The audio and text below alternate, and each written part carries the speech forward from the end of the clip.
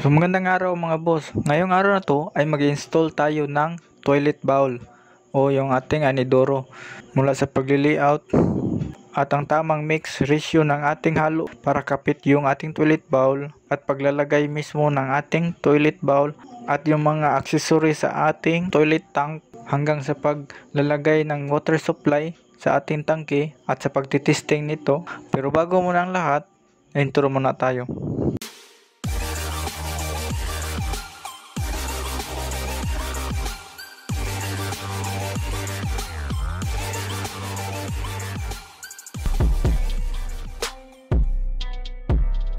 So ito mga boss, so bati ito yung nabili nating toilet bowl. So kulay uh, sky blue.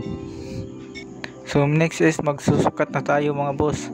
Susukatin natin mula sa gitna ng toilet bowl yung may butas na yan, yan hanggang dito. So yan, susukatin natin yan. So bali yan yung guh guhitan natin mga boss. Tapos markahan natin yung toilet bowl. Yan gamit yung lapis. So bali yung distansya ng ating butas mga boss mula sa uh, wall is 1 feet. So ito na mga boss. So nandito sa gitna yung so i-check natin mga boss yan. So dapat nasa gitna yung butas ng ating toilet bowl. Bali yung distansya lang yung uh, so bali yung sukat lang ng bilog sa ating toilet bowl is 2 inches. So ito na boss. Tapos lalagyan natin yan ng scratch So para kakapit yung ating halo. Yan. So babasahin nyo lang. So ito mga boss, so lagyan ko ng concrete nails.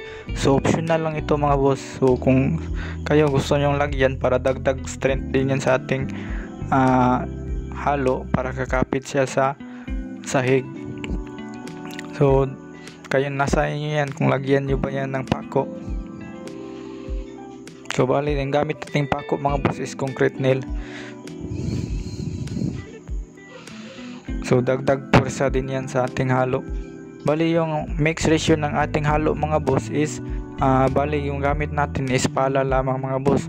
So anim na pala ng semento at limang pala ng uh, fine sand yung pang finishing. So babasahin muna natin yung parte ng ating lababo yung sa ibaba. So yan basa, dapat basain natin yan mga boss. Kasi para din itong tiles mga boss so dapat binabasa din yan para kakapit yung ating halo. So next is maglalagay na tayo. So ingatan nyo lang mapasukan yung butas mga boss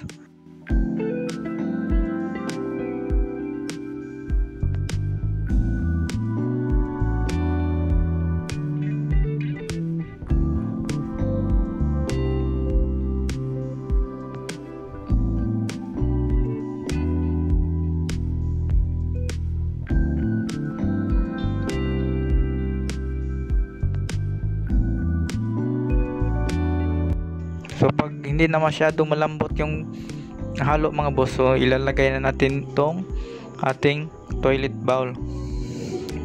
So ito mga boss. So dahan-dahan lang sa paglagay nito.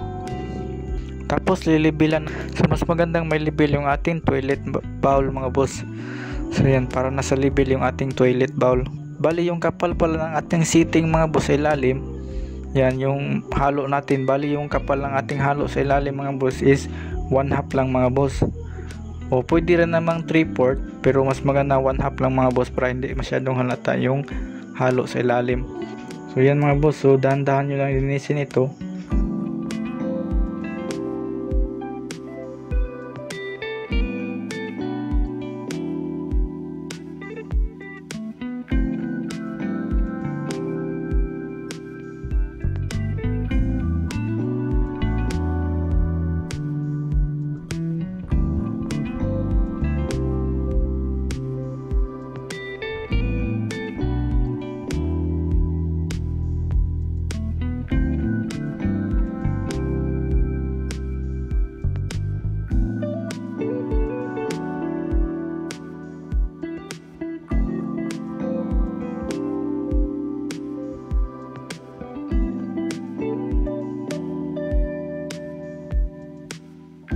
Ito na mga boss so malapit nang malinis yung ating toilet bowl. At itong napansin nyo yung tubig mga boss yung maitim uh, bubuhusan nyo yan ng tubig hanggang sa pumuti yan. Para yung mga may nahuhulog na halo sa ating butas ay mawawala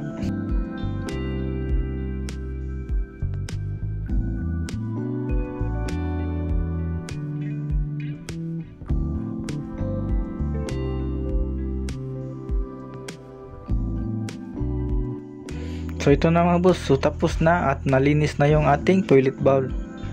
So bali kinabukasan mga boss, so ilalagay natin yung tangki. So yan mga boss. So wag nyong ilagay yung tangki mga boss within this day kasi malambot pa yung uh, halo sa ilalim. Baka may posibilidad na mag-crack ito. So kinabukasan nyo lang ilagay yung tangki o yung ating yung water supply ng ating anidoro.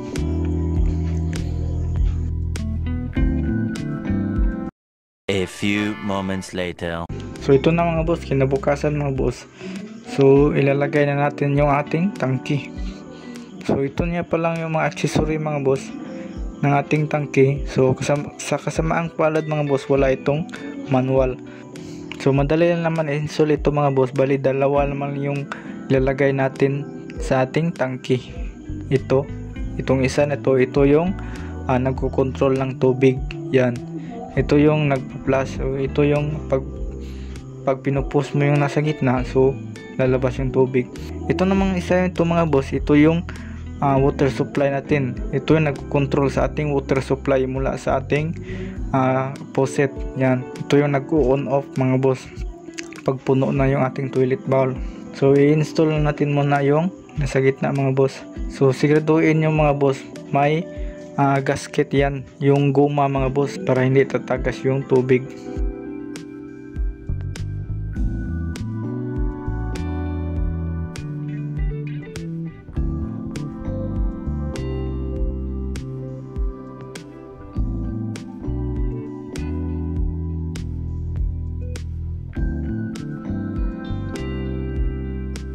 So dahan in kunting ingat lang mga boss kasi pag nabasag yung ating toilet tank.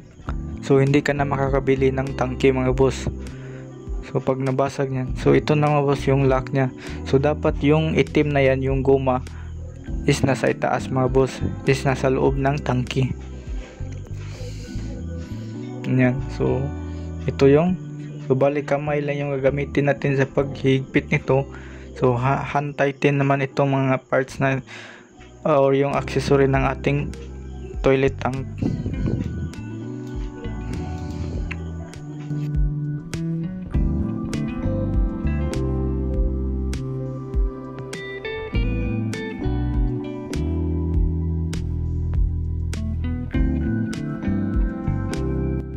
So next is ito naman yung water supply o ito yung nagko-control ng ating water supply. So yan pa rin nasa loob yung itim, yung, yung guma. Mali dalawa naman yung butas ng ating uh, toilet tank, yung isang malaking butas is yun yung daluyan ng tubig patungo sa ating toilet bowl o yan yung nagpa-flush. Yung isa namang butas is yun yung supply natin, water supply. So next is maglalagay na tayo ng ating water supply o yung galing sa ating faucet. Yan. So ito yung abang niya mga boss. So dapat siguro dapat malagyan niyo yan ng teflon para hindi tatagas yung tubig. At yung posisyon niya is nakaangat sa itaas.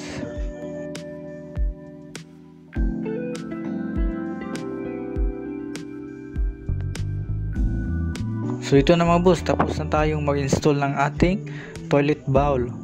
So lilinisin lang natin yan mga boss, yung final cleaning natin mga boss. So ipa-final cleaning natin yan.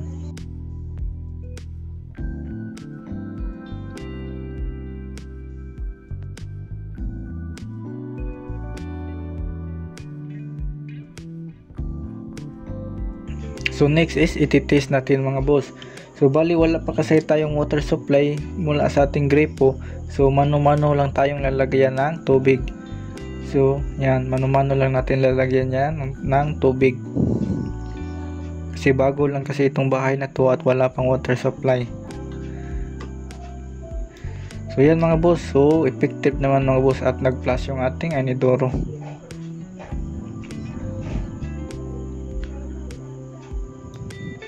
So next is ilalagay natin yung seat cover niya mga boss. O yung upuan ng ating anidoro o yung toilet bowl. So madali naman itong ilagay mga boss niyan. So ganun pa rin, hand tighten lang ito mga boss. So pwede higpitan lang sa kamay.